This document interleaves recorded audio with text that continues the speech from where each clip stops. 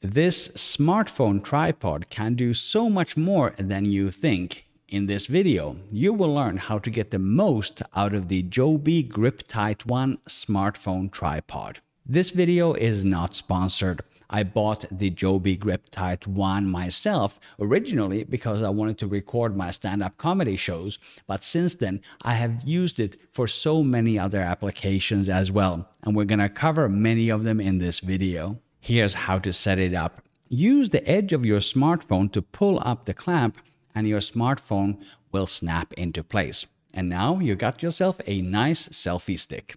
This is actually what I use if I want to record handheld video with my smartphone because the tripod reduces vibrations and gives me a more stable shot for video. Next, let's turn this into a proper tripod. All you have to do is separate the legs right there and then you can place this on a table or any other stable surface and you have yourself a wonderful mobile tripod but the surface does not have to be perfectly horizontal.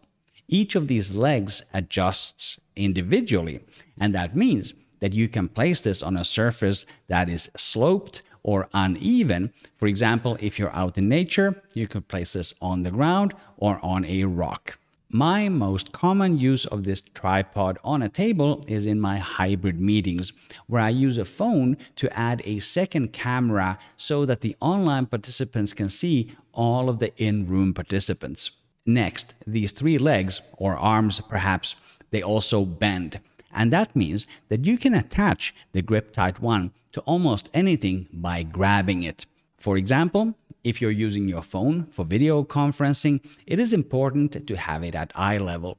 And one way you can use the GripTight 1 is to grab the back of a chair on the opposite side of the table. Here's another example from my hybrid meeting. I used the GripTight 1 to grab the top of this music stand and in this version of the setup, the phone functioned as the primary camera for the speaker. Last year, I did a live stream outdoors with my phone and I used the GripTight 1 to grab this railing and this was the basis of my outdoor live streaming setup. The next feature that you may not know of is that this top part here, you can actually unscrew it and use it as an independent phone clamp. Now that I have separated the clamp from the tripod, I can once again pop my phone in there. And now I have an independent mobile phone clamp. What can I do with it? Well, at the bottom here, there is a tripod mount. So I could actually mount this now on my standard camera tripod or on one of my light tripods. That gives me a lot of extra flexibility on how I want to use the clamp for my phone. But that's not all. If you look at the clamp here, it is actually horizontal. And that means that I can place this on a table.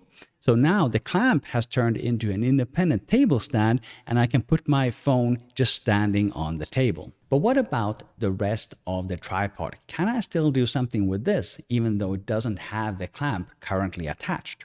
Well, absolutely. The top here is a standard quarter inch mounting thread. And that means that I could mount something else to this tripod as well. For example, if I have a light that doesn't weigh too much, I could mount it on here, or I could mount another smartphone clamp like this one. I can just screw it in there, and this will give me a lot more options when it comes to what I can mount on my tripod.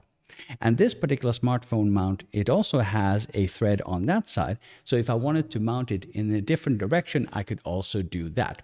All because it has a standard mounting mechanism. I can highly recommend the Joby GripTight 1.